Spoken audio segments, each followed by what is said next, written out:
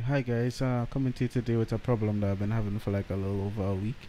Um, it's where you get this, um, playing Overwatch and the game would crash and it'd say your rendering device has been lost and close an application. And um, this it started off slowly, like you might play for like 10 minutes and then it cut. And then afterwards, as soon as you open the application, within like a minute, it would cut off. And I mean, it basically makes the game unplayable.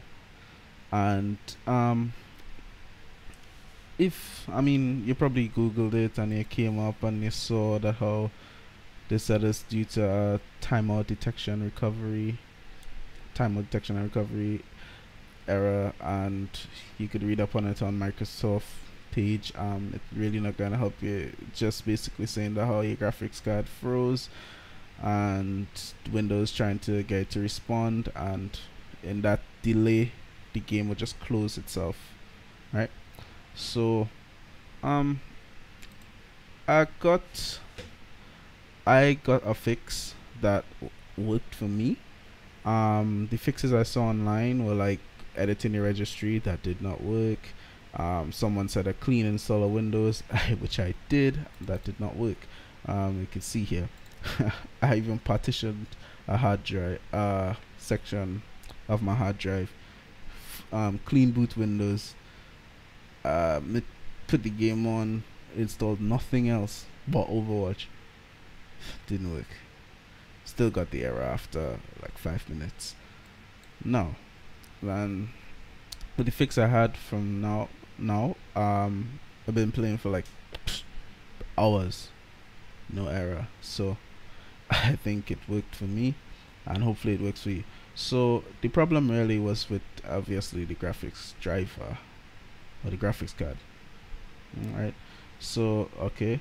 So all I wanted to do is you go to your Windows button, you right click, you scroll up, you see device manager. Okay. Um you go to display adapters. Now this is how I usually update any of my drivers right? So right click alright display see it there. Uh, click update driver right? Alright so you can search automatically for update driver software. Now this was the problem right here. Because okay I'm gonna go okay so browse my computer for any devices. And you say let me pick from a list of available drivers on my computer. You go there. Now you see okay so you see it checked show compatible hardware now this is the mod version on top. And if you'd see this is what it would install if you said search automatically and let windows install it. It will install a version from 2015 when there's a version from 2016 right here. The newer version which is what I have installed now. And it works fine. I mean I even getting better frames the game running smoother and I'm not getting that error anymore.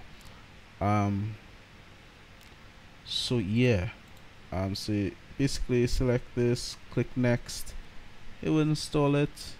Screen of flash or whatever. Boom. And there you go so um what y'all could do our next thing y'all could do is just go online well for the site of your graphics card whether it's nvidia or whatever. You get the latest driver and you go to install it. But one of the things i realize is that because windows has decided that this older version is the best it would tell you that you already have a newer version installed even though you're installing a later version by date and model. So what you could do is check the model that you have installed now. I'll go back and quickly show you where you could see that. Um, so you go back to device manager display adapters properties driver. Alright so you see it here driver version minus 20 point blah blah blah.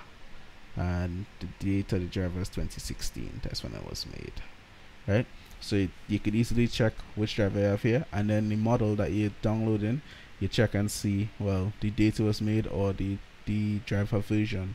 So they at least know you're installing something newer than what you have installed already.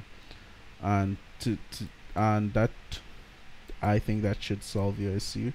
And you should have smooth gaming again. And be happy to play Overwatch. So I hope this helps. Um, good luck and thanks for viewing